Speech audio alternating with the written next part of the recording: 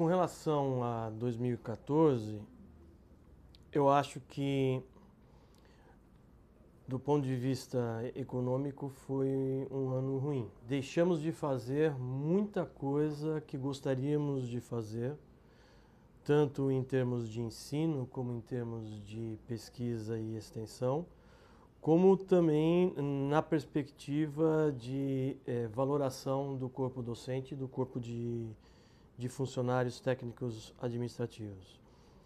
E isso acabou culminando, infelizmente, por uma greve de mais de 100 dias que, com certeza, é, atrapalhou todos os projetos, mesmo que sendo projetos com corte, dado essa conjuntura, eles seriam feitos. Então, a greve acabou, com certeza, inibindo esses projetos.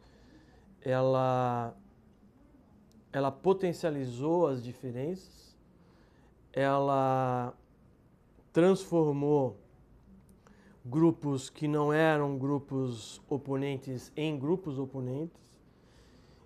E eu espero que isso seja bem pontual, porque é, não, foi, não foi bom para a universidade ver tanta agressividade no discurso e pior, é, na, na, na, forma de se posicionar, inclusive é, é, do ponto de vista de, de algumas camadas, na forma de se posicionar também fisicamente. A agressividade foi na fala e na, e na forma de se posicionar. Com certeza, 2015 vai ser melhor é, fundamentalmente porque eu acho que os órgãos colegiados aprenderam com 2014. E pelo que eu tenho visto nesse final de 2014, é, a intransigência ela tem sido cada vez mais rebatida com, com o debate. E a, a perspectiva econômica, eu não poderia deixar de, de tratar sobre isso, porque é a minha área de atuação, a perspectiva econômica não é das melhores, não.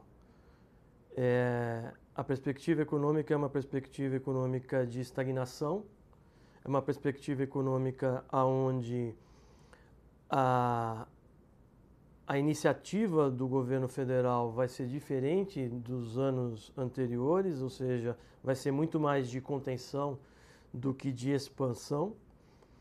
E isso é reflexo exatamente de um novo mandato com uma nova equipe econômica. E isso vai acabar repercutindo no, nos estados e em São Paulo em particular. E, consequentemente, nas finanças da universidade. É, com cautela, com discussão e com debate, eu espero a gente passar por 2015 exatamente naquilo que eu acho que tem de mais precioso na universidade, que é exatamente é, discutir e criar oportunidades em cima de situações tão adversas.